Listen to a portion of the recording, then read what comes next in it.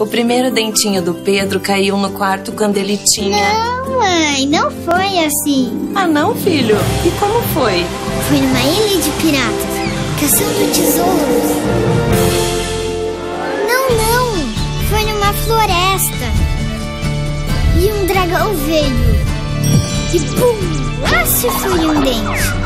Dente do dragão, é lógico, porque o meu eu guardei. Todo dentinho tem uma história e toda história merece um álbum. Andy.